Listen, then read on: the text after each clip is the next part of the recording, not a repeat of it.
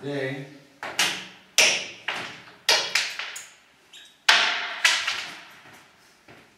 Where is the chalk? Under the sponge.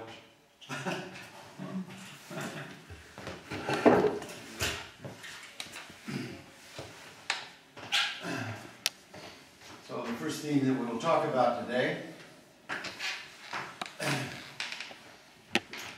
is curves.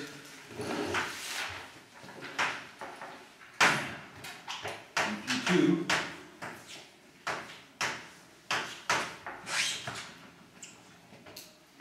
So, what to say, in other words, one-dimensional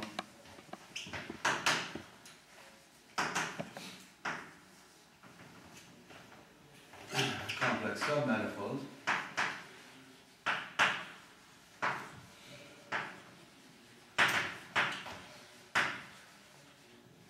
P2.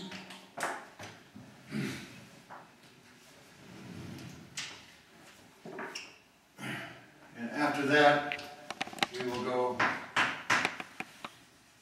uh, to the general, more general theory.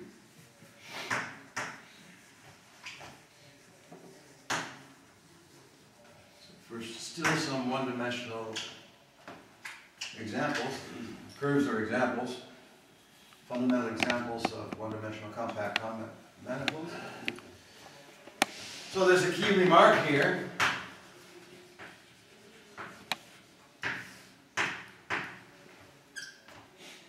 That if you look at a polynomial in well, P2 is defined by C3, so in three variables.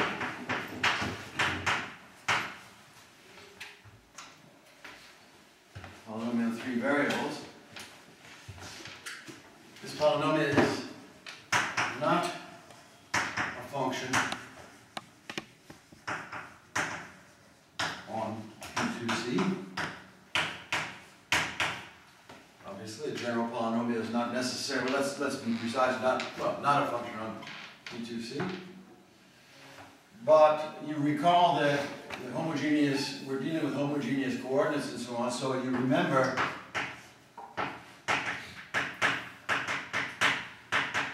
this is not just the polynomials, it's a graded ring.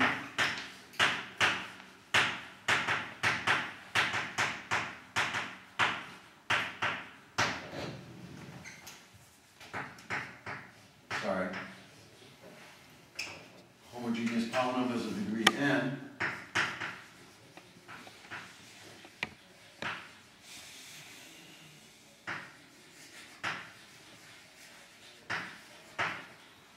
Right?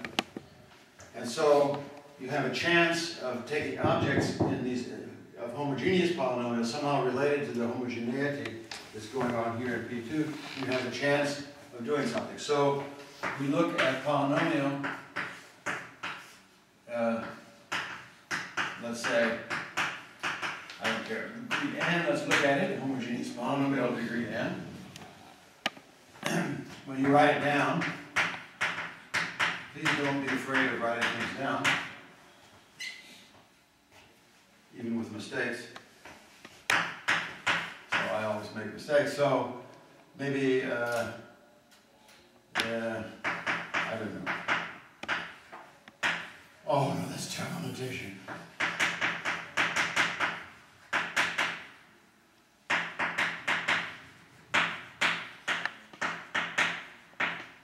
Um, and then you get tired, and you get up and have a coffee, and then go to the toilet, and then come back, and you realize maybe it's good to write multi multi-index notation.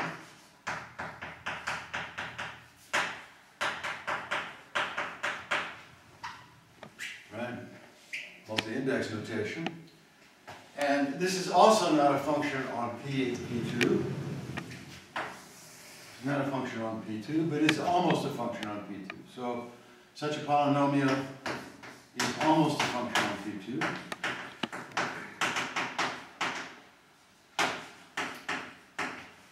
Almost.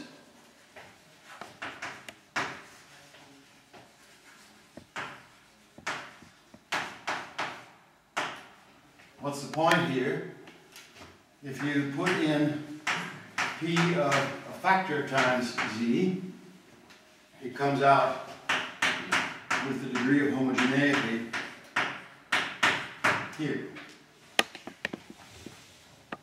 Okay. Well, that's good because this means what we call the variety of P, which is where uh, this polynomial vanishes, is a well-defined set. Well, it's a well-defined subset.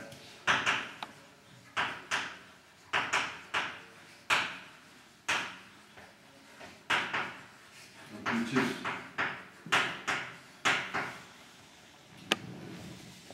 That, we talked at breakfast about equations, that's an equation. right? And you should begin, I mean, this is really naive, my granddaughter can understand this at age 11, and, and almost that. But then you should make a little bit of a, a jump, and recall that uh, we should formulate this in terms of ideals. And I'm not going to write this, but, but please keep in mind, you should look at somehow all the equations that define a set. Right? So that's the notion of an ideal. And everybody knows uh, from elementary algebra uh, that you look at the ideals in this ring, this polynomial ring. And then there are all of these big discussion about uh, Noetherian ring and they're finitely generated. We talked at breakfast about this. But here suddenly you must go to homoge homogeneous things. So if you look at it, you, you need to look at homogeneous ideals. I think they're called homogeneous ideals. And this means that if, if a function is in it, then its homogeneous parts in the gradation are also in it. So you can just break it up and only look at the homogeneous parts. You can check that defines an ideal. So really what we're talking about here is homogeneous ideals if you're uh, if you go to many equations, here we just have one equation. Well, I just want to use that as a word now. Later on it might be important. So here's just one equation. The ideal is, is this principal ideal generated by this one equation. Okay, so uh, I'm still reviewing from the last. So linear polynomials would be the first thing we look at.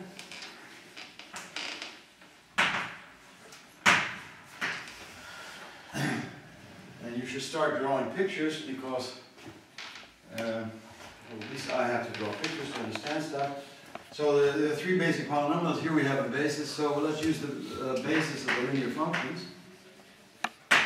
Uh, notation, that's the basis of the linear functions. And then you should look at where they're zero. And so that's a fundamental picture I would like to draw. For me, uh, where there's zero is lines. This is z0 equal to zero. And here is, um, maybe, I, I, I don't really know where.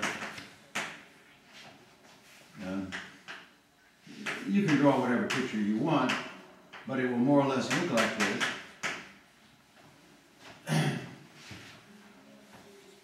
Why do I draw this as a line?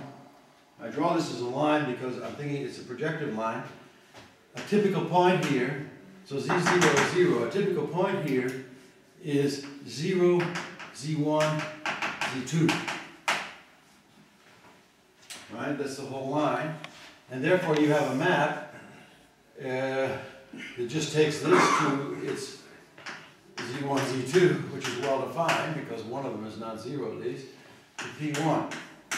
And of course, this is an isomorphism in any sense of the, in every sense of the word. So, and I'm every, always thinking of P1 as a line. So this is a project, what we call a projective line uh, here. Now, the complement of this projective line here, we call the coordinate chart. That is uh, the complement of Z0 equal to zero. And this thing, as we know, is a copy by the, by the chart mapping of C2. So in that sense, P2 is a compactification of C2 by adding quite often what we call the line at infinity. And the way to think about that as being a line at infinity is, I'll draw some color here, is, is I think of this thing here as the origin in C2. So uh, what is that? That's, that's where uh, Z0 is not, so it's 1, 0, 0. That, I think of that as the origin, and now I'm looking at lines through the origin. You see, all these lines through the origin, I compactify each one of them at infinity here, adding one point to obtain a family of P1s going through the origin. Uh, when I compactify them, anyway, this is C2 compactified by the line at infinity. Okay? Now, there's no canonical line at infinity. I mean, you could have nothing. There are all sorts of things here. But these are somehow the standard coordinate lines, and this is the standard picture that I think most people like to draw P2. So this is the picture of P2 with the coordinate lines. So that's the linear phenomenon. All these possible lines. Uh, the quadratic form, uh, phenomenon. So these things are called conics.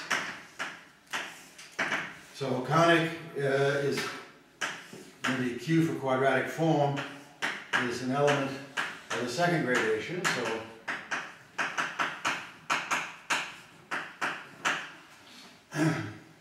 but as you all know, any quadratic polynomial should be written as a symmetric matrix.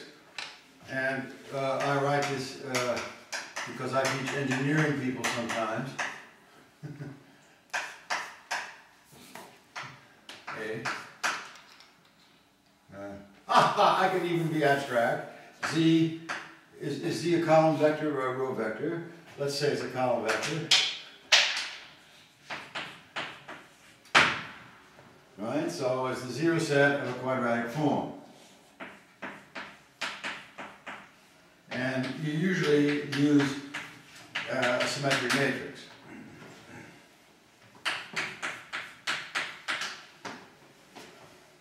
Okay, so a quadratic polynomial is exactly that. It's nothing more than a quadratic form. Um, you know them all. And you know from uh, your first course in algebra or something, I don't know what, that the rank is the only invariant. Rank of A is the only invariant. Is there, uh, what does it mean, invariant with respect to what? Now, I'm, I'm, uh, I'm glad that you asked, but that's precisely what I'm going to say now, okay? So, i.e. Okay. So what does it mean, uh, only invariant? Well, it's going to take a blackboard to big long i.e. So the first, the first remark is that the group GL3C uh, acts uh, on C3, and this action, by linear action, V goes to uh, VV. And of course, this action is compatible with the equivalence relation defining projective space. So this action is this way, and that defines an action on projective space. It's completely obvious that lines are mapped to lines, so it's completely obvious that it acts, and you can check that the action is holomorphic in every sense of the word. I mean, it is, it's, linear. So this is, in fact, this is more or less, these are all, all the automorphisms, of course. Uh, Maybe you should note um, that if you take a, a very special transformation here, then, uh, well, let's do it. Uh, V goes to lambda times V is the same thing as V. So there are transformations here which don't act. Uh, The, the, the uh, scalars. So actually, the real, the group that is acting here uh, is the group that acts, the real group that acts here is GL3C uh, modulo scalar multiplication. And this group is called PGL3. And the P here, P here means projected. Anyway, this group acts, everybody sees it. And it's a group of biholomorphic transformations. And it acts therefore on the induced actions on the polynomial. So the standard representation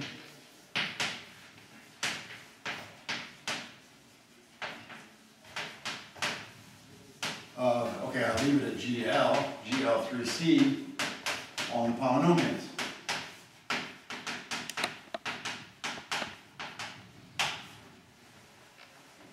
So if you have a polynomial, let me write it down. P, okay, B, operator, P, is- you have to be careful to make sure it's an action, so you have to do it like this. And this standard uh, representation preserves uh, the gradation. Of course, I'm just making stupid statements. I mean, obviously, if you have a homogeneous polynomial, you plug it in, you get a home, right, mean, homogeneity is preserved, scalar multiplication. But does it preserve homogeneity only if the rank is maximal? Or, Well, I don't know what you mean by maximal uh, rank. Uh, No, transformation's in GL, so it's, oh, uh, okay, then. it's not just an endomorphic. If you, if you, if you're, if, yeah, you're in big, big danger if you start operating with non-invertible operators. Okay, so everything's GL, okay? It preserves the gradation. So, so it acts on, so GL three acts on the, uh, acts on the polynomials.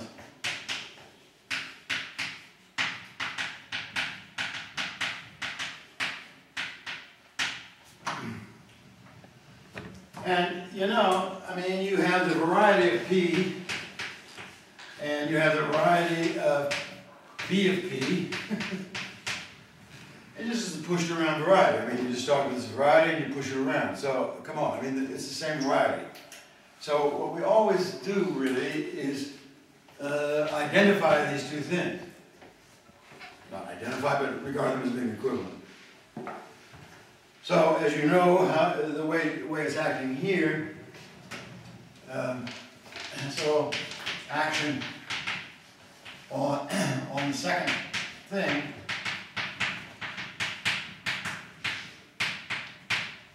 is the usual action on quadratic forms.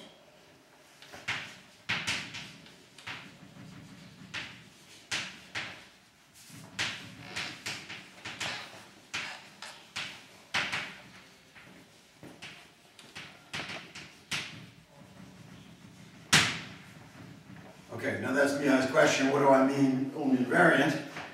It says there are three orbits of GL3. Namely, if you have two quadratic forms of rank two, then there's a linear transformation that moves from one to the other. If you have rank one, then there's a linear transformation that moves one to the other. The rank three, then moves one to the other. So there are only three numbers here, by the way. I, uh, so the rank, the, so the rank possibilities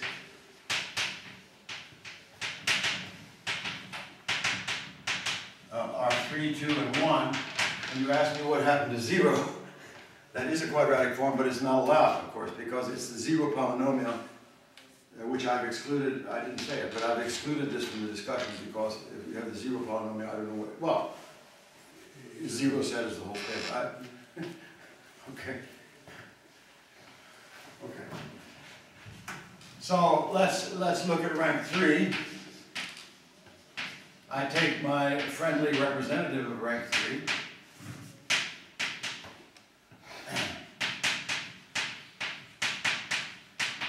This is not necessarily the best one to take, but let's take it for now. That we quite often call such things Fermat polynomials. And, and a Fermat curve is uh, for any, any degree here, so z zero to the n, z one to the n, z two to the n, so on equals zero. We call this a Fermat curve. In this case, it's just two. By the way, this whole business about the Fermat conjecture and so on, this, this one, quadric, uh, you know triangles, right? Two squared plus three squared, No, three plus four. what is this? Twenty-five should arrive Yeah, nine plus- sixteen plus nine is twenty-five, and then you have a right triangle. Right? So there are lots of integral solutions to this. Okay, you, you know that problem, the, the question of integral solutions. Here there are. That's interesting, so we should understand the geometry of the Fermat curve, uh, because we know, aha, that's interesting, maybe the geometry behind it is playing a role in this Fermat question. Let's, let's just see.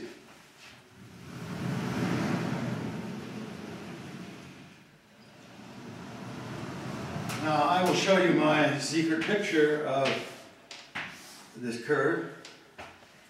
Um, uh, it's not a secret picture, but uh, it's a quadric, so it intersects a line in two points. And um, so these are all lines, so this is my secret picture. So let's call this curve C, and this is my secret picture. At least for these coordinate lines, it's correct, right? Because they, it intersects at two points and not in the corners. Because this corner is one, something like, uh, I don't know, zero, zero, one, I don't know, it's one of these things. So it will never have a solution here. So this, is a reasonable picture of, the, of such a curve. And now our exercise is to find the geometry of that curve. This curve is a smooth, uh, check it. It's, it's smooth, so you differentiate and check that it, uh, I mean, to check that it.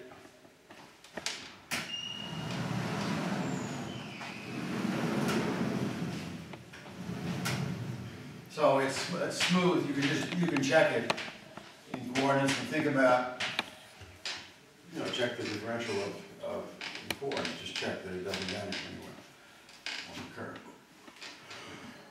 Now, there's a beautiful way to understand this curve is to take a point on it and consider the set of all lines through that point.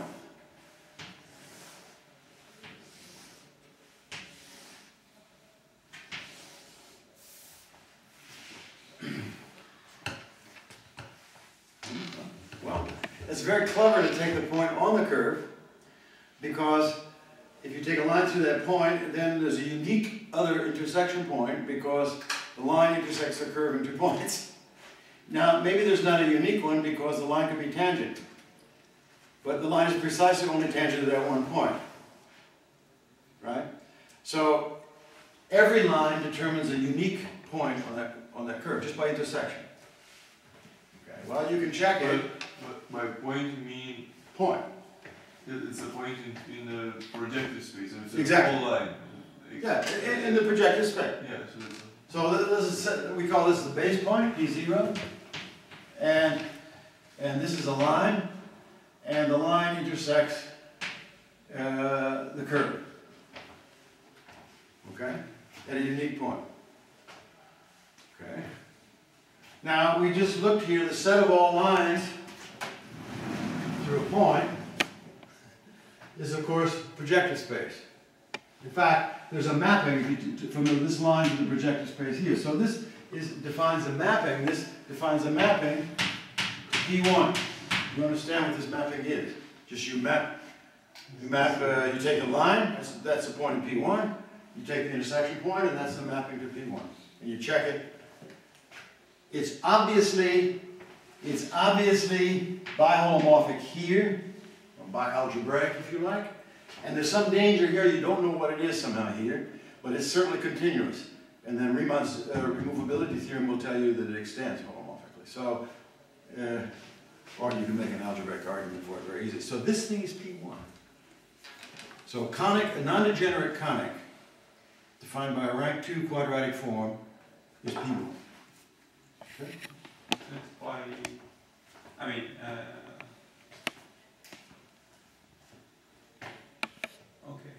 Okay, what were you about to say?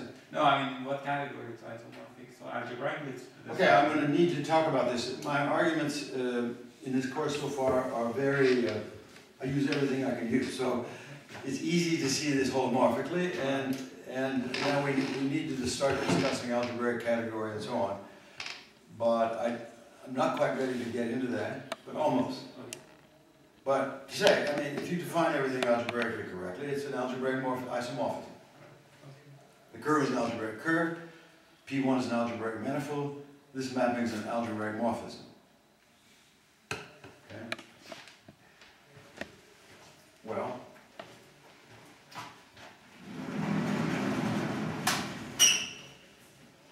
That's great. It's P1. So let's, I mean, I'm not afraid to take a few cases. Yeah. I'll stop doing it, but let's take the next case. Well, okay, let's take polynomial.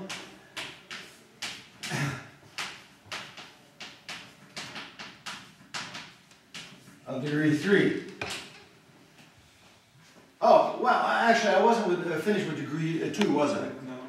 I'm sorry, because, uh, I'm sorry, so where the heck am I? Um, uh, that was, this is degree th- rank three, so rank two, I'm terribly sorry, rank two. Uh, let's take this one. We're allowed to take our favorite one because everything's equivalent. And of course, we're also allowed uh, to factor this.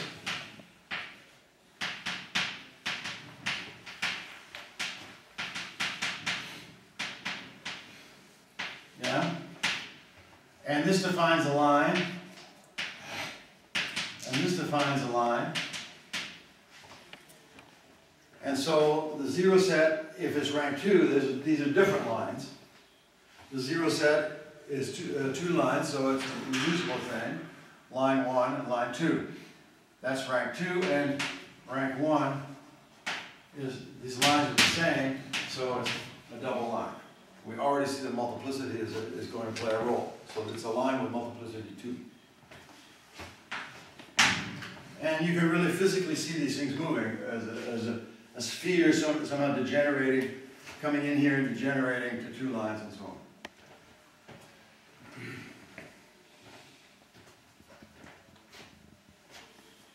So you see the space of all rank three quadrants is non-compact, obviously, but you let things degenerate, and they degenerate to two lines, and then the two lines degenerate to a double line, and that's then a compact object, which is the space of projected of all quadratic forms.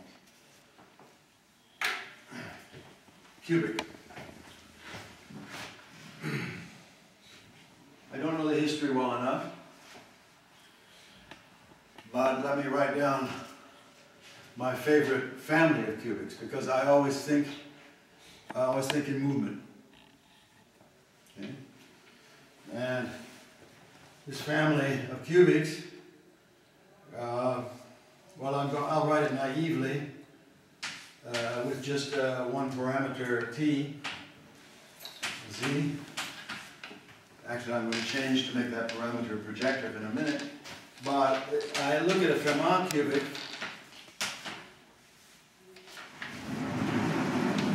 I look at a Fermat cubic,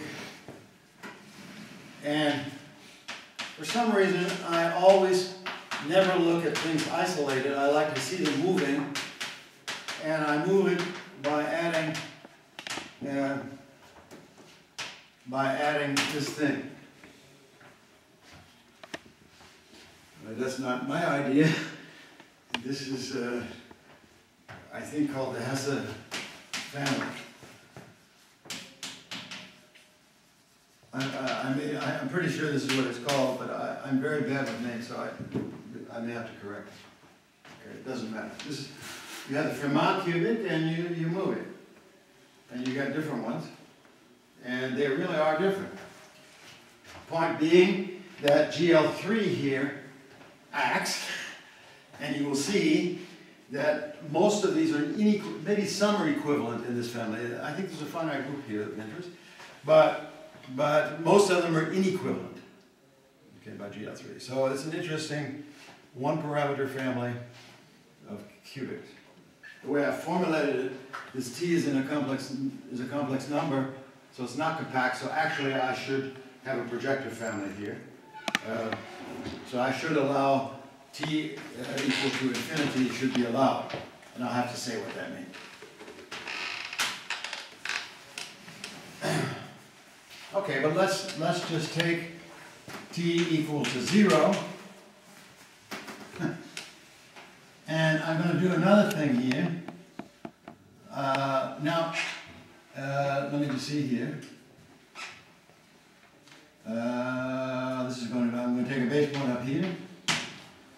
Uh, and my picture is going, I, some people who, one, I don't know.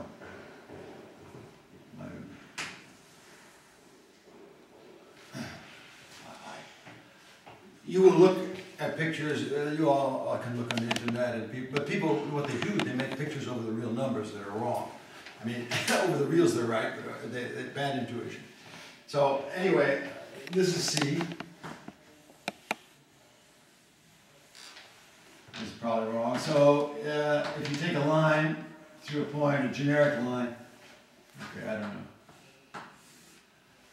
know. Um, so this is C, this cubic curve, and it should take a, a point P zero outside uh, as base point, and it intersects in three points. Okay? Now there's a problem. The problem is, this problem is an obvious one, uh, is this problem. Everything, everything Uh, so sorry, I mean, C is the curve that, uh, C is a cubic, is the cubic curve. So, and let's, uh, say, take a good one from curve. but then why does it intersect then? So now it intersects. A line, a cubic intersects a line in three points. But now it's four. Oh, did I draw Well, four? P itself is on there. You know, this went underneath. Uh, One, two, three. But P itself is not, oh, it's not on the curve, yeah. No, no, no, Uh, this, I, I, I didn't say that clearly enough. Okay, I, I, I probably could do something on the curve. Yeah. In fact, I know I can, but I want to introduce another method. okay, So, take P off the curve, okay. look at the family of lines through there. And then take the cutting. I don't know how to draw this thing, so, but it- generically it intersects in three points. Okay. Okay. And, and then there's a major problem there, because, uh, you see this double point here was really, uh, harmless, because uh, somehow everything analytically continued through this, but this, this, this is, uh, some terrible point that I need to worry about. Okay? Okay, so let's take a look at that. So, um, uh, so this is, uh, z cubed plus z one cubed plus z two cubed. Um, And let's take a point not on the line, which is, say, one, not on the cubic, one, zero, zero. Okay. And let us take, uh, let us write down this line. Okay, and let us intersect with the cube. Now, uh, if we have some point on this line, uh, which, uh, uh, which is, uh, what's going on here. I don't know, let's, let's write this thing as, uh, A zero, B zero, no, A zero, A one, A two. This is the point, A. Um, then this line is, I hope, something like a homotopy. Uh, The general point on this line, I hope, let's see if we agree with this, uh, will be uh, uh, zeta times p. You see, I make a mistake. Zeta, let, us call this point A, general point A. So will be zeta times p zero plus one minus zeta. Zeta zero P zero times zeta one A. Um, whereas zeta, uh, zeta zero, zeta one, one is a point in P one. So it seems to me that that's the way to think about a line. You take two points, it's parameterized by P one, and so here's the parameterization. So uh, if I write this down in coordinates, that is zeta zero at the first thing, uh, zeta one, uh, uh, oh, terrible. Zeta zero, zeta zero plus, uh, zeta one, a, ah, zeta, now here there's no zero, so zeta, no, yeah, zeta one, zeta, zeta one, zeta one, a two, right? Huh? Okay, that's terrible.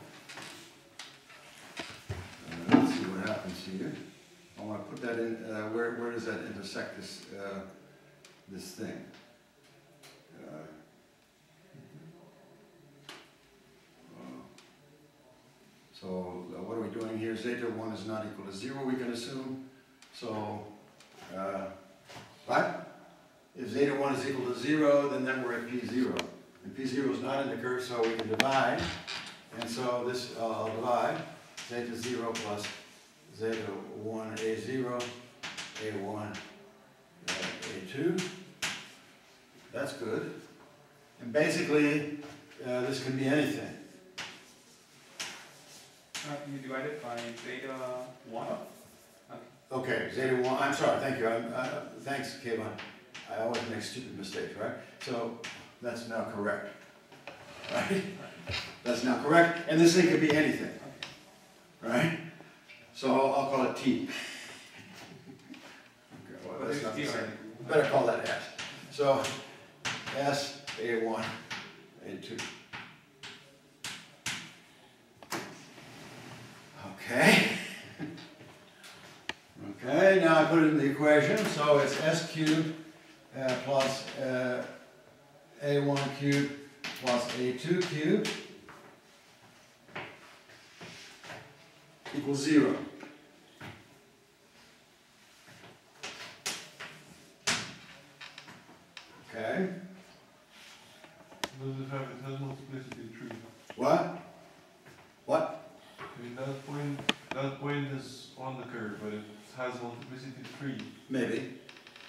yeah, if it's going to be a bad point, it has multiplicity 3.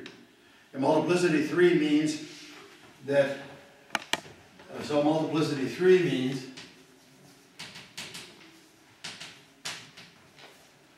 means that this is 0.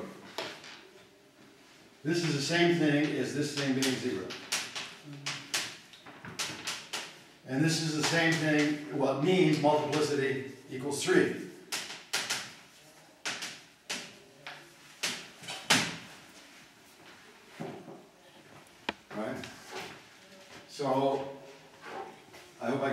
A2, I'm sorry, A2.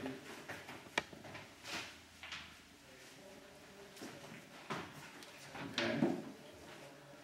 So you're not considering the general as a family now? Hmm? I mean, you're just focusing on the Fermat scalar? I mean, sure. Gonna, okay. Yeah, I don't, yeah, I'm just on the Fermat. Okay. Now let's check what I've done here, probably something stupid. Let's see what happens. Let's go through it again. So I'm interested when this thing is tangent. Right? So I'm interested when it intersects in less than three points. Right? Right, that's the, so I take a point. Okay, well, that's,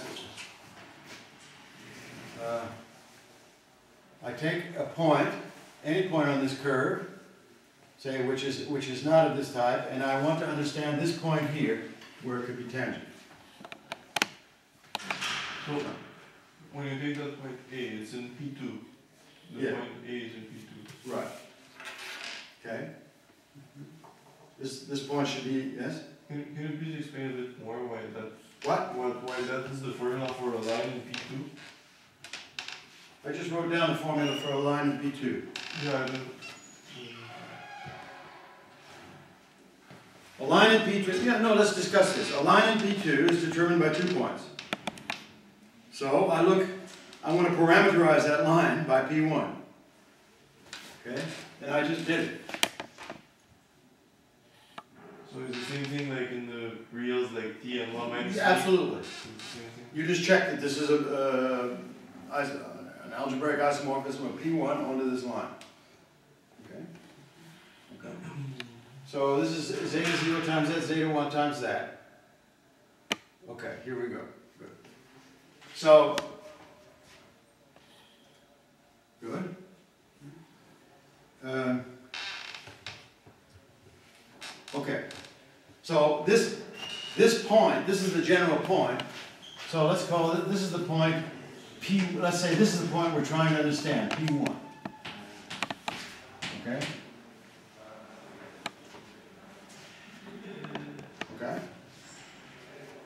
And now we determine for multiplicity, A one square cube plus A two cube has to be zero.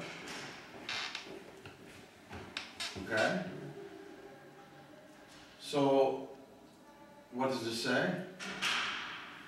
So there are three possibilities essentially. Hmm? So for Okay, so this says, the, the ratio, okay, this thing's gonna be on the curve, so these two, these things are zero. Right. And this has to lie on the curve. Well, I mean, it just says these things, these things are, uh, okay, I don't know, let's, let's, let's write this, I, I'm gonna write this really stupidly, okay? It has to lie on the curve, so this is.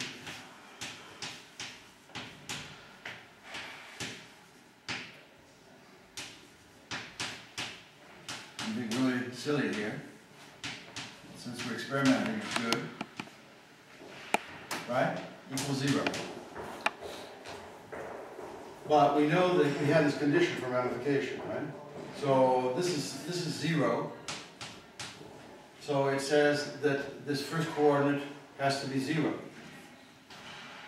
Okay, so this thing is equal, uh, I think I got this right. Alright, so f is zero, Hmm? Because, I mean, if, if that equation is satisfied, s must be zero, right? That's right. So, so the first coordinate is zero, and then you have the ratio of a one over a two, I mean, it can be two different numbers, right? Roots of unity essentially, they're roots of unity. So I guess like you get three points. Well, so from that equation, from S, from the last cubic equation that you wrote, you're stating because it's tangent. Which equation are you? The, the one that starts with S. Yeah. Because it's a tangent point, then it has to have at least a multiplicity, like That's multiplicity right, two. that's right. Because it has multiplicity, and that's a complex number, a one to the cube plus a two to the cube has to be zero, and then you go back and multiplicity has to be three. That's right. I mean, that's what you do, no? That's, uh, that's, yeah, this, I mean, yeah. the reason those, tho- that sum is zero is because it has a, a multiplicity because it's tangent. Right. So, so the point is here, okay, I'm gonna write it here, I, I, there's so many letters on this board, this is really an experimental didactic here. But this is the general point, and we know B one, this is what you're saying, uh, Mihai, right? Right? Um, I mean, we proved that. Yes, We, we proved it. we proved that. Yeah, we proved that it's, But it's not cubed, it's Hmm? cubed, I mean, it's yeah. not cubed to zero. Yeah, It's cubed. cute. But B, what, what can we say about B zero, isn't it zero? Yeah, be zero, zero. B zero is always. And B zero is zero, of course. Right. So what I was saying was that you can probably go a little bit further, I mean, I don't know if this is true or not, but if the sum of B one cubed and B two cubed is zero, Right. then it means that B one over B two cubed is minus one. That's good. So B one over B two must be a third root of minus one. B one, uh, let's, let's do, this is what you're, Yeah, this is equal to minus one. So you can sort of, so there are exactly three different possibilities here, right? Yes. So if you pass me the coordinate, the projector. Okay, so the three, three, three possibilities. Three possibilities. Okay, let's go through the logic now. So we've done some stupid calculation before breakfast. And we go through the logic. We found three points. Right? Right there, yes. The cube, the cube roots of minus one. We define points on the curve with, with, wi- uh, with multiplicity three. So ram- ramification index two. Okay? So this is a kind, I mean, I just want to do this, uh, having fun business here. And now we can really have some fun. We apply Riemann Hurwitz. Okay, let's apply Riemann Hurwitz. I'm, I've been trying to understand this curve, and I try to understand by projection on P1. And now I found projection on the P1. Not only did I find it, with your help, I found, what did you tell me, three ramification, three ramification points?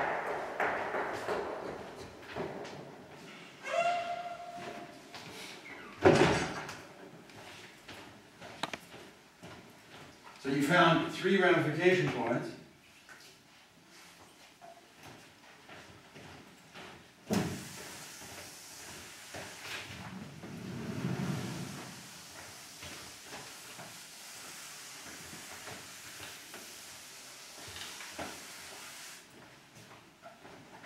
So that thing looks like the plane. Hmm? It looks like the plane. It looks like C. Like No, everything's compacted, nothing looks like C. Well, the curve is called C, but not the Kepler's number.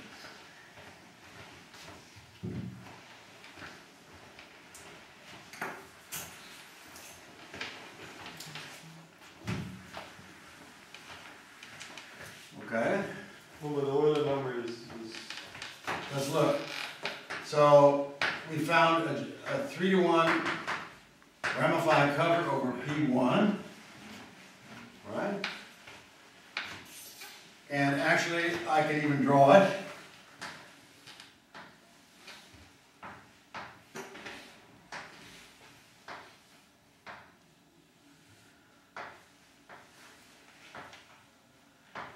Right? Right, with three ramification points, or P one.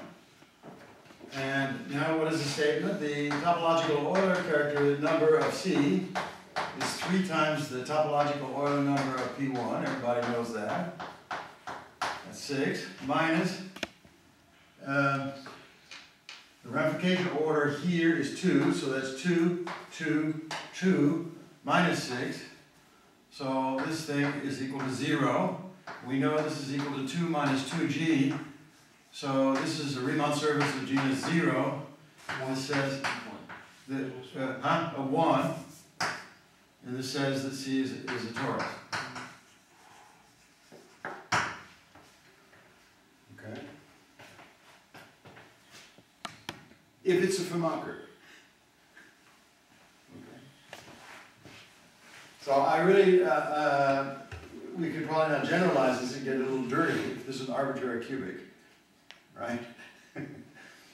Get a little bit dirty. In the, in the Hesse family, it's not difficult to do it because it's so, it's just this elementary. on the torus. Which are the three points that are bad? Well, that's an interesting question. I'm going to tell you this map now.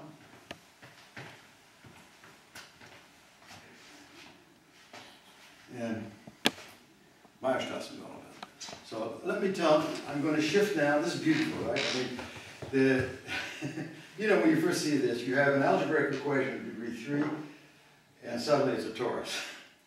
Very exciting. And I'm going to shift to analytic viewpoint now.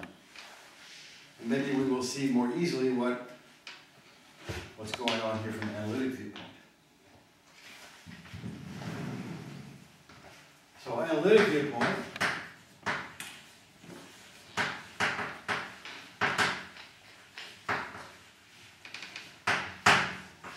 I told you everything I can get my hands on in mathematics. I don't have, I'm not pure at all.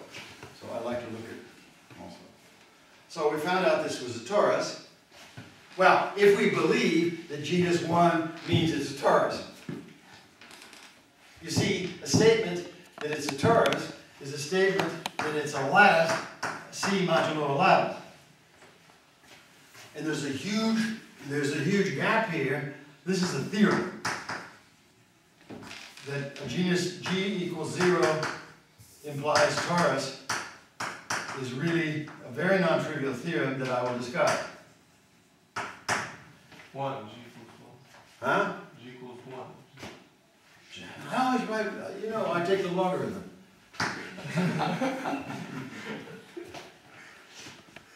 It's terrible, I don't know the difference, I- but it's the point I'd rather think additively.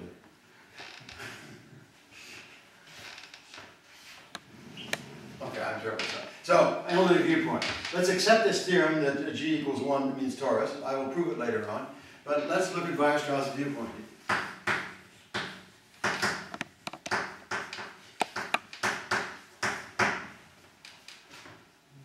So Weierstrass considers a lattice in the complex numbers. Not only Weierstrass, many people consider lattice in the complex numbers.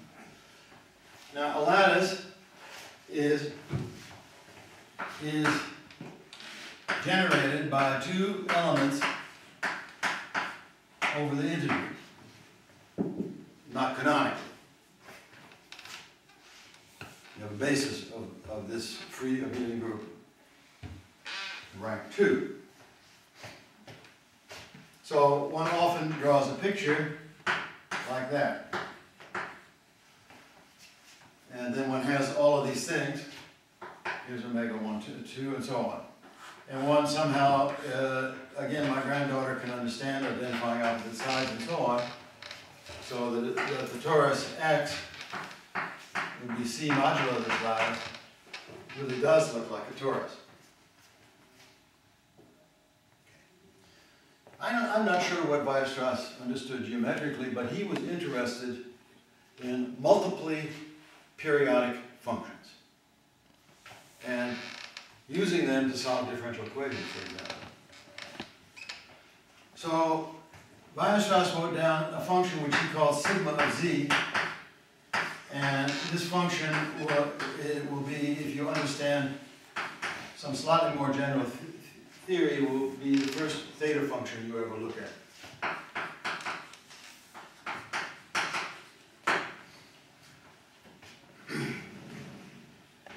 This function, you know it from uh, calculus or one, uh, one complex variable, is supposed to vanish. It is a good function vanishing exactly on the lattice.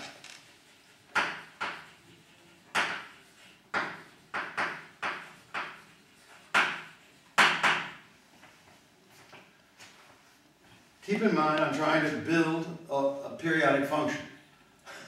The best I can do at first is just build one, that- a function that vanishes, is periodic on the zeros. Okay? You know there will never be a holomorphic periodic function. Because if there is a holomorphic periodic function, it's, Under this constant. it's defined here. Right? And this is compact. So it- there's no such thing. I mean, by periodic. Uh, In this case, I said multiple, you know, I jumped. But, but Yeah, yeah. doubly periodic. So, but Weierstrass is not stupid, he knows this, of course, and, and so he writes down a, fu- a function.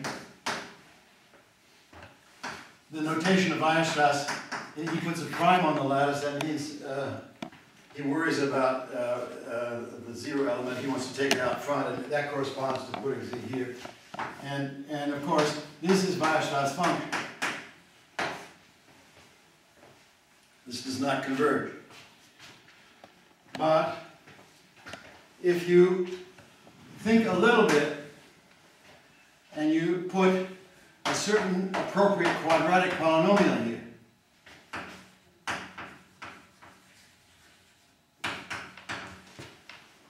you think it as a weight function. If you want to be physic- physical in your consideration, put minus here.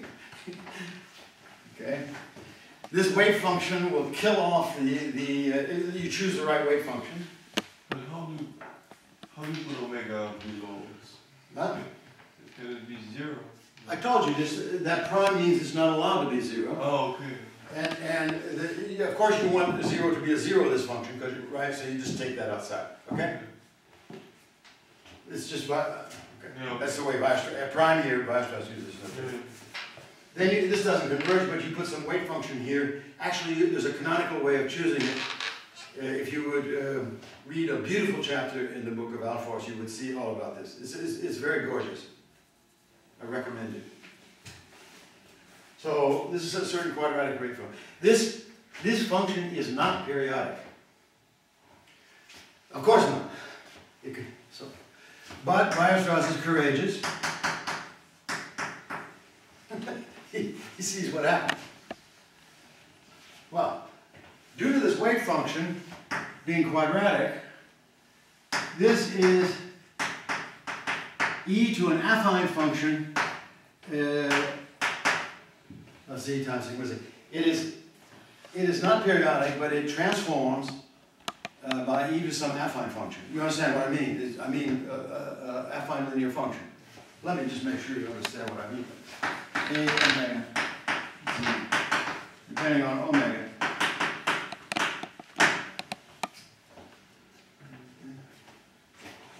This is the transformation rule for a theta function. The study of theta functions is extremely important in all forms of mathematics. Number theory, analysis, physics, applied science, engineering. Well, you guys are not stupid. You want to kill this thing. And so what you do, you say, let's take a log of this thing. Right? Well, log of this thing, uh, I told you I'd rather think additively. this log brings this thing down, right? That says uh, this log of this thing transforms like an affine. But you think locally? No. Huh? Everything is global here. Can you define the logarithm here? Well, first of all, you shouldn't worry. One reason you shouldn't worry is you're right, it's low. Because this thing vanishes and you're a little bit worried about the zeros and you're going around and all this stuff. But it's well defined up to some uh, period of the logarithm. And anyway, I, I, what I get is this affine thing here, so I'm going to kill it by differentiating. So this thing, when I differentiate it, it kills uh, this term and kills the b. This, this thing here transforms by a constant. Right? And now your worries about the logarithm are gone because it's the logarithmic derivative of something, there's no problem, right?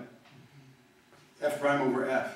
So this is gone. This is meromorphic, of course, now. Already we've got, we've got in poles because, yeah. but we still have a bad transformation rule. And so you take the second derivative, and this thing is periodic, and to get things the way you like, you take the sign.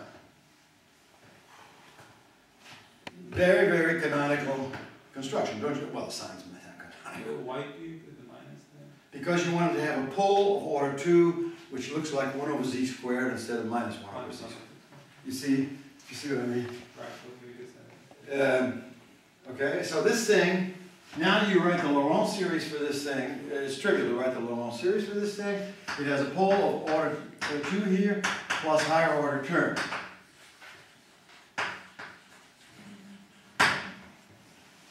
So you start with a theta type function. I'm going to change this. Let me just call this uh, uh, theta, theta. I may be mixing notations here. But now we're in a standard situation which is even true in higher dimensions. And taking this thing, we got this so-called Weierstrass P.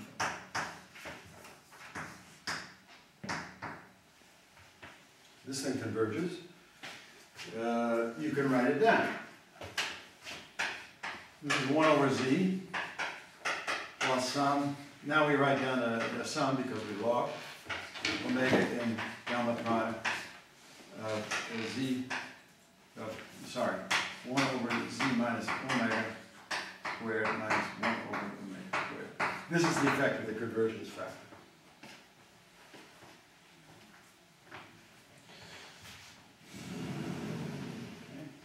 What's, what's with you, Bina? I don't see where you got that. Well, uh, it takes half a day.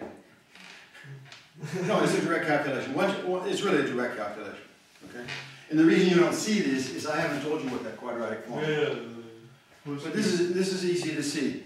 You take a formal logarithm of that, of that product, and you see what you need to force convergence of that logarithm, and, you, and the logarithm has a Taylor series, and you just kill off enough to do it, and you only need a quadratic polynomial. This is standard construction, uh, which is very dignified. So this is a meromorphic function, and this maps, you will love this, onto P2, onto P1, right? It's a meromorphic function, it's a mapping onto P1. Who's X? Hmm? Who's X? Is the torus? The, the, the torus, maybe I should, yeah, thank- let's write it, C naught per count. Okay. And you ask yourself, how many poles does it have? Well, the only pole that it has, well, here's the pole z equals zero, and here are the poles along the lattice, but that's one point in the torus. So it has one pole, namely the origin, so if this is, uh, this is, uh, zero in, in C, in, in this group, uh, this has a pole, and, and this is infinity here in P one. Uh, this zero goes on to here, and it's a pole of order two, so it looks like that. Okay? That's what, God only knows, and then you have to work. Well, you know, the genus upstairs is what? One. Now get it right. Good. Okay. Genus upstairs equals uh, is one. Is one? Yes. And it's two to one. It's two times the genus downstairs. Uh, how, that's four. That's Minus one. Huh? I need four No, it's ramifications. two is equal. Ah. Two times one minus one. Huh? No, it's the other way around. Okay, here's B one. No, you put the, the, the genuses in the wrong places. it's two times one minus one. What's the genus of P one? Zero.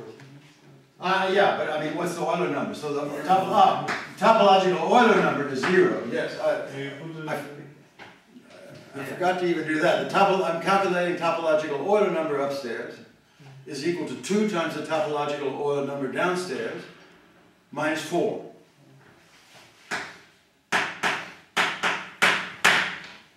Okay, so this is a two to one ramified cover with four, one, two, three, uh, four. No choice. Guess what this map is? This map is the stupidest map you can think of. It is the quotient of the torus by the equivalence relation z equivalent to minus z. See, this, this mapping is, this, this Weierstrass P function is, is periodic, you, you can see it, it's, it's independent, yeah. You put in minus here and look what happens, it's really periodic, I mean, with respect to z minus z. And that's exactly what this is, this is exactly this map. And so you can really see what the fixed points are if you take the lattice here, omega one, omega two, this beautiful theory. One of them is zero, another one is half lattice element, where is a fixed point of this z goes to minus z. This other half lattice point, and then the sum of the two half lattice points. So if you want to choose lattice points, this would be zero, this would be half lattice point, this would be another half lattice point, and this would be uh, the sum of half lattice point.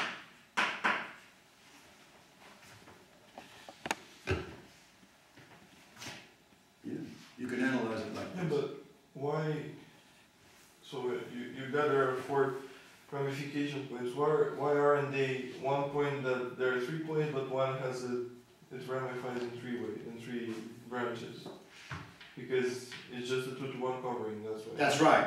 Because You have no choice. I- He, he, you understand what he's saying? I mean, you look at higher order ramification, there's no possibility, that's what you're saying, right? yeah. That's exactly right. So you're lucky south of you. That's forced by the pole at zero, That's right, that's right.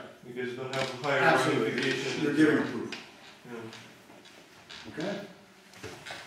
Well, this mapping here was three to one, remember? Yeah. Well, this function is two to one, and you know, we can take its derivative. Right? And if we take its derivative, we get a polar order three, and you can check that that's precisely such a thing. I don't know if the numbers are exactly right, but in this Fermat thing, it will be exactly the same. So,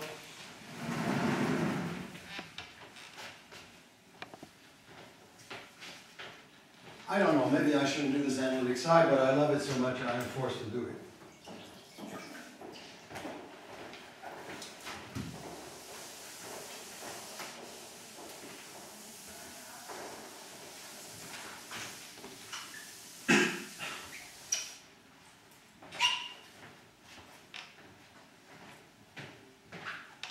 So let's take the derivative.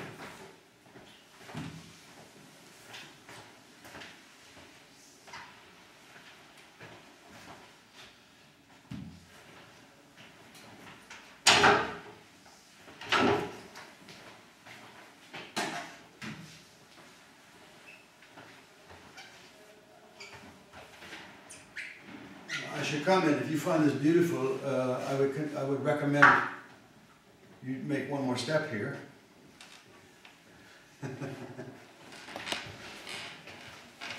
What's the group acting on P one? The group, uh, you all know this, the so-called, what do they call them?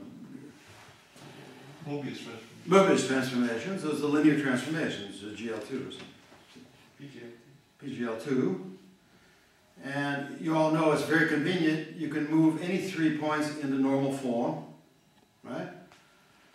Uh, now, we've already got one point here in normal form, right? That's, that's, I like zero, one, and infinity as the normal form points. So we can always call this point zero, and always call this point one, and everything is now somehow rigidified. We don't have any freedom of the, of the symmetry. So we have a somehow moving point.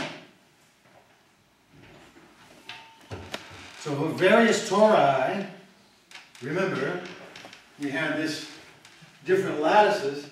You all know that for different lattices, generally speaking, you get different tori. And you want to parameterize this tori, these tori, and this parameter is going to be very close to parameterizing these tori. This parameter, Weierstrass called this lambda always. And this parameterization is very close to that parameterization that you see up there with T. So there are all sorts of beautiful things to consider here. But at least you see that as you vary the lattice, you're certainly going to vary this function, and you're going, you see the horrible variation here. Yeah? But what is, what is, what is the reason for like the lattice has two deg- two degrees of freedom and you have only one degree of freedom? Yeah, that's a very good point. You have the action of GL1C on the complex plane. So this, right, I mean, C star. Multiple. Yeah, C star. So uh, this, uh, this maps the lattice into other lattices, but they're equivalent certainly in every regard on this discussion. So you can move You one only- You only, it's only the, the, the angle between them sometimes? Well, I think we, what we like to think of quite often, for example, would be something like this, right? Yeah, the angle, Yeah? Well, it's, of course, has a length too, but, uh, yeah, yeah, that, that's the way you should think, in a complex sense, it's that. So what we quite often do is we, we say, well, we can put the first one as one, and actually you can think about it a bit, a little bit, and the second one you can put in the upper half plane, we always call it tau. And to every tau you get a torus. And this is almost a parameterization, but you will check that uh, if you take tau plus one here, of course, it's the same lattice, right? And so the action of SL2Z on the other half, upper half plane is what you really have to model out by. but it's more or less just this tau. Okay? You know, as I said, even in an elementary way, Ahlfors has written this really in a sweet chapter in his book I like very much. You can read about it. It's very nice. Okay, so what we do here is we go to the derivative of the Weierstrass P function. And, and this uh, defines a three to one ramified cover.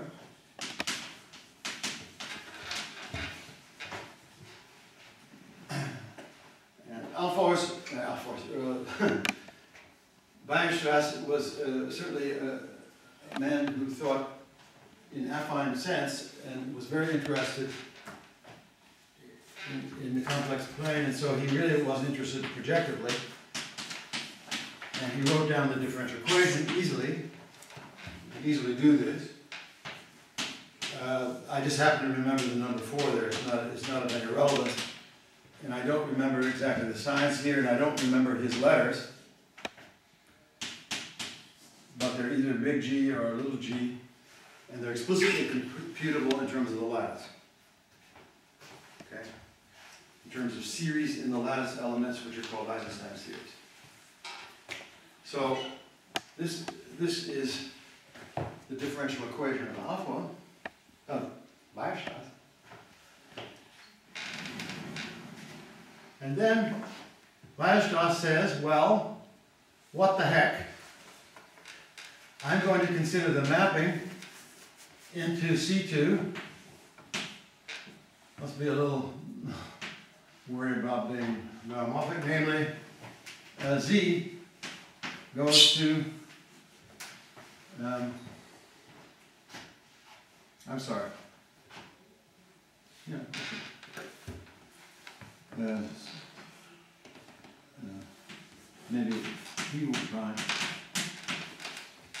Let's put the prime in the second.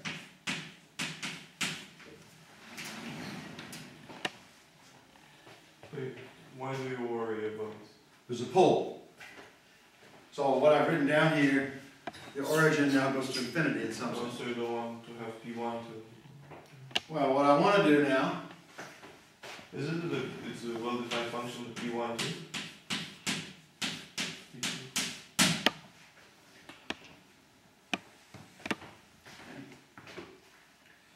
so I'm going to consider it like this, and then recall that then the pole, which is where, where's the pole? It's zero.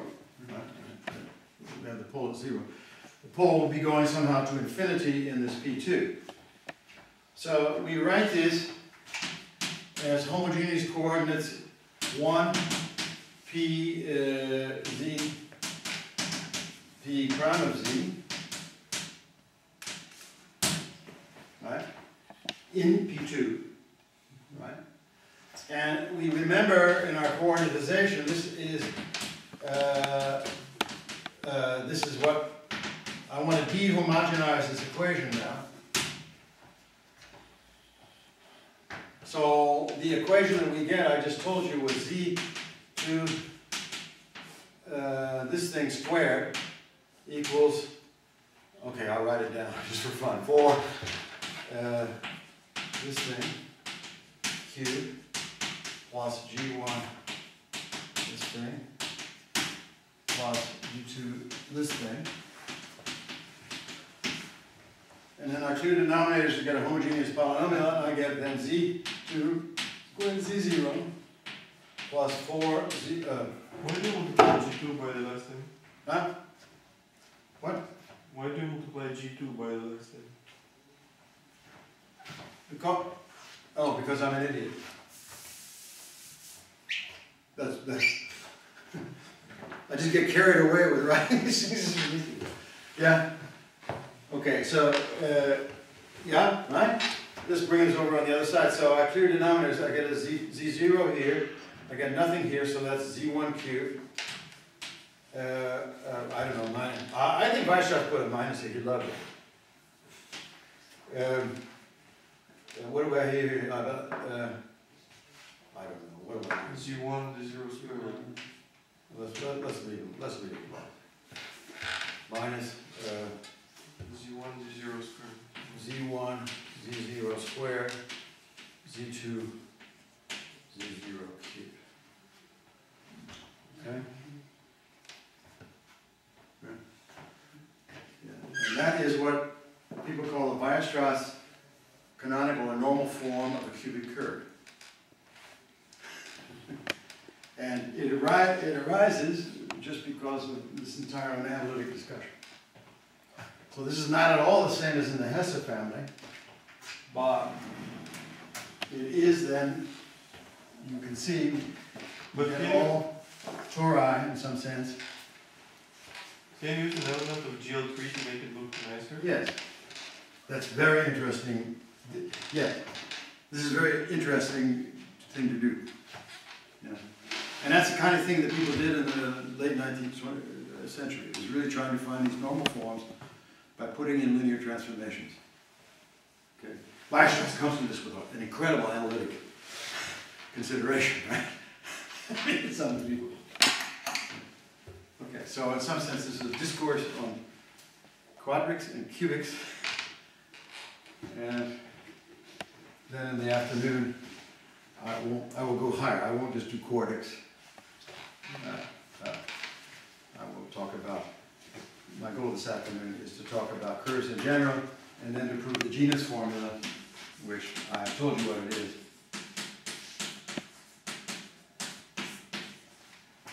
And of course, what I've done here is a special case of the genus formula. Okay, so that's what I'll do this afternoon. So I, I find that incredibly beautiful formula. And these are the degree of the, well, the the polynomial. polynomial. But, yeah, you take a homogeneous polynomial of degree d, of course, you wanna make sure the curve is smooth. And then that's the genus. It's incredible. So is it possible to classify the cubics as well? Yes. How is the- So cubic, I think the cubic, so cubic is very, very well understood. Um, Because of phenomena like this. Right, so this is one class. But uh, what K1 is asking, uh, you can answer in many ways. He says, is it possible to classify the cubics?